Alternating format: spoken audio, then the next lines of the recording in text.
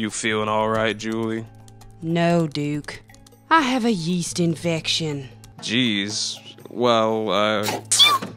Seriously, that's the most horrifying thing I have ever seen in my life. I'm gonna go sit in the break room till the rest of my shift is over. You just got here. Hey, Duke. Yo! Someone left a perfectly good muffin out! Tony, wait. Mmm. Mmm.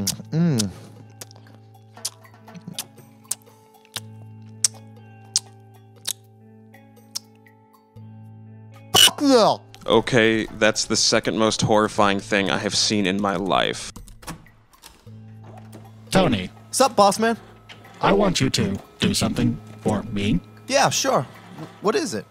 When the maintenance man comes in for my tune up, I want you to take the supplies from him and, and bring them to me. me. And if he asks why, just tell him I'm not in the office or something equally clever. Aw, does the creepy repairman touch you in places you don't like to be touched? You don't understand. Just make sure he leaves the supplies before he goes. You shitty bastard.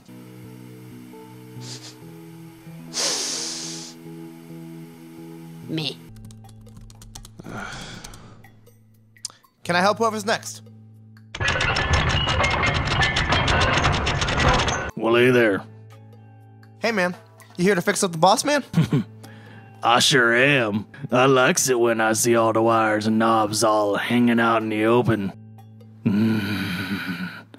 Knobs and wires. yeah, well, boss man ain't here today, so I'm gonna be taking those parts. No one must know.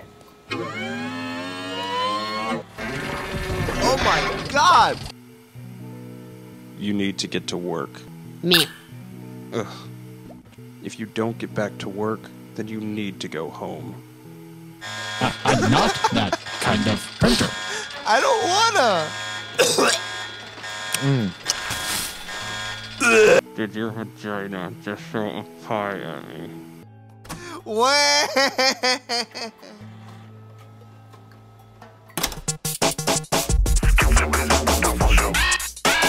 The customer's always right.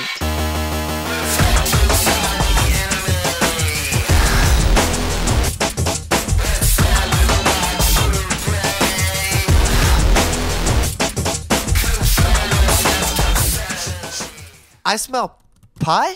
Ugh. Virulent Media.